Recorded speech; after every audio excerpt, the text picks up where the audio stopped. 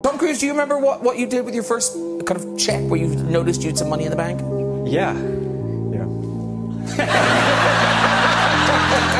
Can you say, is it a terrible thing? No, no. Oh, okay. I, I uh, actually paid for my college, uh, my sister's college education. oh, that's so